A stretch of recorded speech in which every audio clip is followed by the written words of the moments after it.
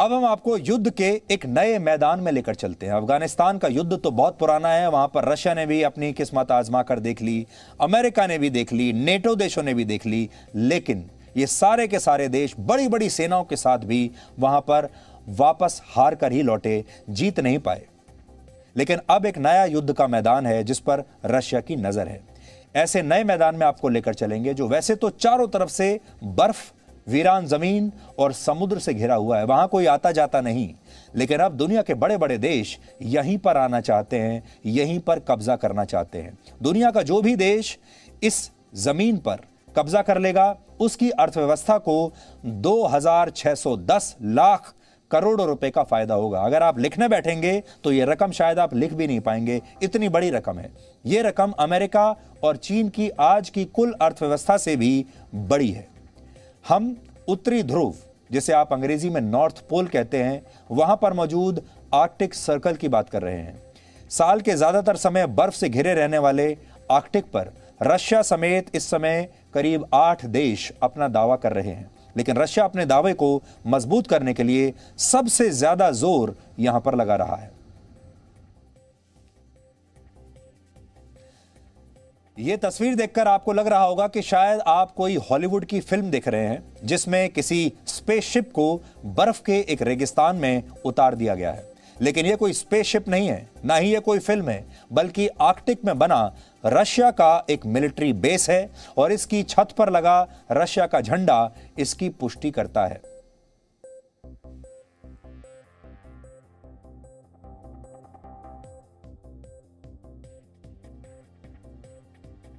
Russia के इस military base में एक साथ 150 सैनिक रह सकते हैं और इसमें रेडार भी लगी हुई है और यहाँ एक एयरफील्ड भी है, जिस पर किसी भी विमान को उतारा जा सकता है।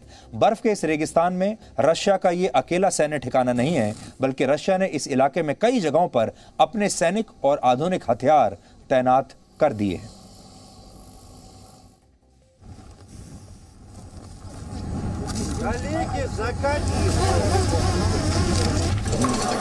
रशिया परमाणु शक्ति से चलने वाले ऐसे चार समुद्री जहाजों का भी निर्माण कर रहा है, जो आर्कटिक में बर्फ़ की मोटी परत को तोड़कर आगे बढ़ने में सक्षम होंगे।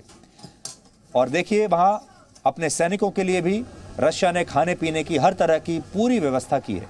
अब आप सोच रहे होंगे कि इस बर्फीले समुद्र पर कब्जा करने से रशिया को क्या फ़ायदा होगा?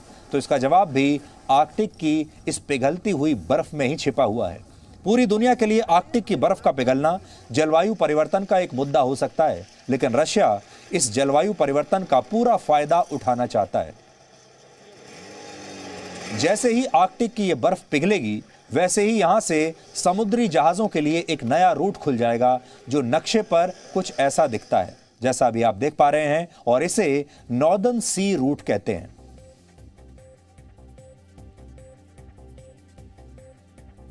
रशिया के इस नए समुद्री रास्ते को सुएज कैनाल की तर्ज पर विकसित किया जा रहा है। रशिया ये चाहता है कि इसे सुएज कैनाल की तरह बनाया जाए।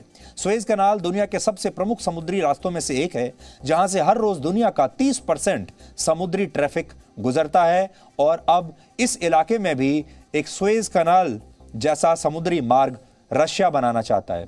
अगर रशिया इस नए नॉर्दर्न सी रूट को खोलने में सफल रहा तो एशिया और यूरोप के बीच की समुद्री दूरी बहुत हद तक घट जाएगी। और अभी तक एक जहाज़ को एशिया से यूरोप पहुँचने में 25 से 30 दिन का समय लगता है, लेकिन इस नए रूट से जाने पर सिर्फ़ 18 दिन का समय लगेगा। रशिया चाहता है कि वो भविष्य में इस रूट का एक टोल रोड की तरह इस्तेमाल करे, यानी यहाँ से गुजरने वाले दूसरे देशों के समुद्री जहाजों से रशिया शुल्क वसूलेगा, लेकिन और पैसा कमाएगा, लेकिन बात सिर्फ़ यहीं तक सीमित नहीं है। आर्कटिक के समुद्र में 35 ट्रिलियन डॉलर्स, यानी 2610 लाख करोड़ रुपए का खजाना छिपा है। और इस खजाने की कीमत अमेरिका की 21 ट्रिलियन डॉलर्स और चीन की 15 ट्रिलियन डॉलर्स की अर्थव्यवस्था से भी ज़्यादा है। यह खजाना है पेट्रोलियम का, नेचुरल गैस का, मिनरल्स का, यानी खनिज पदार्थों का, कीमती पत्थर और सोने का। यह भंडार इतना बड़ा है कि इसका इस्तेमाल सैकड़ों वर्षों तक हो सकता है। यानी सैकड़ों वर्षों तक यह खत्म नहीं होगा। लेकिन इस खजाने के दावेदार भी एक नहीं, बल्कि बहुत सारे देश हैं। और उसका कारण यह है कि आर्कटिक की सीमाएँ कई देशों से मिलती हैं।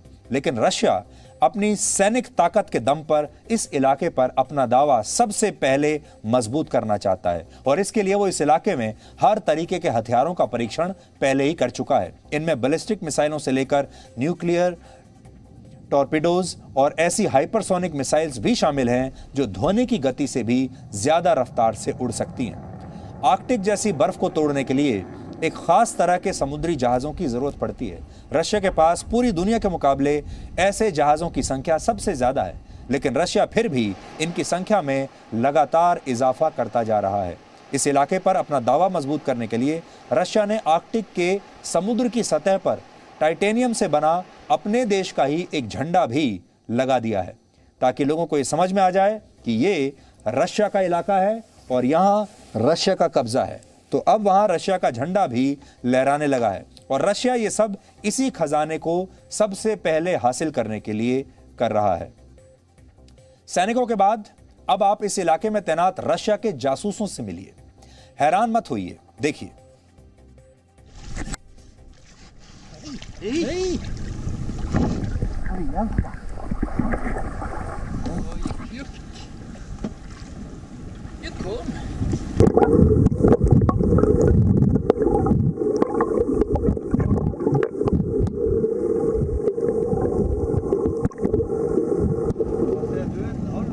जो अभी आपने मछली देखी ये बेलुगा वेल है। और बेलुगा वेल सच में इस इलाके में रशिया के लिए जासूसी का काम करती है। इन्हीं वेल मछलियों से रशिया अपनी जासूसी करवा रहा है। वर्ष 2019 में नॉर्वे के कुछ मछुआरों ने एक ऐसी ही बेलुगा वेल को पकड़ा था, जिसकी गर्दन पर एक कैमरा और कुछ इलेक्ट्रॉनिक उपकरण लगे हुए थे। और इन उपकरणों पर लिखा था कि ये रशिया की प्रॉपर्टी है। हालाँकि तब रशिया की सरकार ने जासूसी की बात से इनकार किया था, लेकिन अब जो तस्वीरें हम आपको दिखा रहे हैं, वो आपको किसी हॉलीवुड फ़िल्म के किसी एक्शन सीन की तरह लग सकती हैं।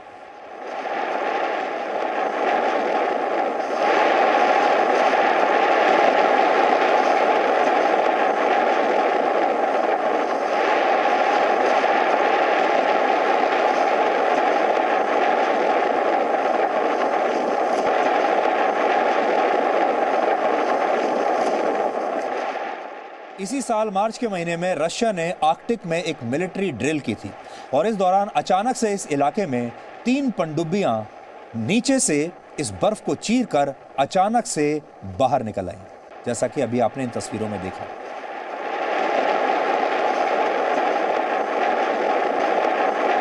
इन पनडुब्बियों ने यहाँ बर्फ़ की डेढ़ मीटर से ज़्यादा मोटी परत को तोड़ दिया था और रशिया ने बाकायदा ड्रोन कैमरों की मदद से इस पूरी ड्रिल को फिल्माया और फिर इसे ऑनलाइन पोस्ट भी कर दिया ताकि दुनिया इस इलाके में रशिया की ताकत को देख सके, बाकी के देश भी इसे देख सके।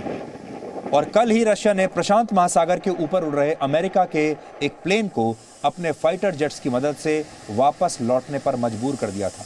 प्रशांत महासागर के एक बड़े इलाके पर भी रशिया का ही नियंत्रण है और वो किसी भी कीमत पर यहाँ अपनी पकड़ कमज़ोर नहीं करना चाहता। कुल मिलाकर रशिया समुन्दर की महाशक्ति बनना चाहता है ताकि वो समुद्री रास्तों पर निर्भर दुनिया की अर्थव्यवस्था को नियंत्रित कर सके और आर्कटिक की पिघलती बर्फ़ पर भी रशिया इसीलिए अपनी नज़रें जमाए हुए हैं।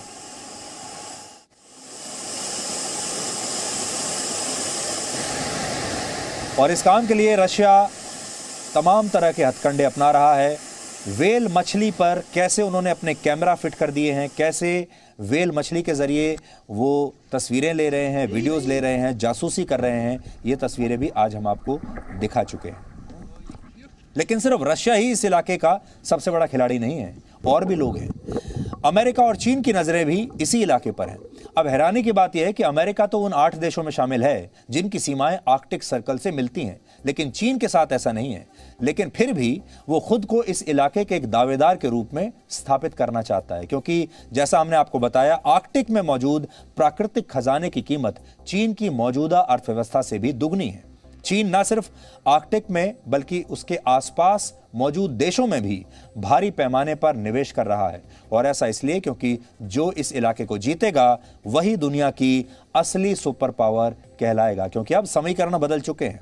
दूसरी तरफ़ अमेरिका है, जिसका अलास्का राज्य आर्कटिक महासागर को छूता है। इसलिए अमेरिका भी ये कहता है कि आर्कटिक से हमारी सीमाएँ लगती हैं, इसलिए हमारा दावा इस पर है। अलास्का आकार के हिसाब से अमेरिका का सबसे बड़ा राज्य है और दिलचस्प बात यह है कि यह राज्य कभी एक जमाने में रशिया का हिस्सा हुआ करता था, लेकिन अठारह सौ सड़सठ में रशिया ने अलास्का को सिर्फ़ चौवन करोड़ रुपए में अमेरिका को बेच दिया था और आज इसी अलास्का के रास्ते अमेरिका आर्कटिक में अपनी पकड़ पकड़ मज़बूत बनाना चाहता है। दुनिया के तमाम बड़े देशों ने कैसे इस ठंडे और वीरान इलाके पर कब्जा करने के लिए एक नए शीत युद्ध की शुरुआत कर दी है, इस पर आज हम आपको एक खास रिपोर्ट दिखाना चाहते हैं। ये एक नई चीज़ है, एक नया फ्लैश पॉइंट है, जिसके बारे में आपको भी पता होना चाहिए। यह है आर्कटिक सर्कल, जिसकी बर्फ़ के नीचे प्राकृतिक संसाधनों का एक खजाना छिपा है।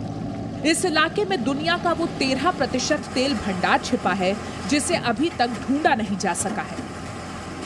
दुनिया के गैस भंडार का 30 प्रतिशत हिस्सा भी इसी इलाके में मौजूद है और यहाँ पिछहत्तर लाख करोड़ की कीमत के बेशकीमती पत्थर और धातुएँ भी छिपी हैं। लेकिन जब तक यहाँ बर्फ़ की ये चादर नहीं पिघलती, तब तक इस खजाने को हाथ लगाना संभव नहीं है।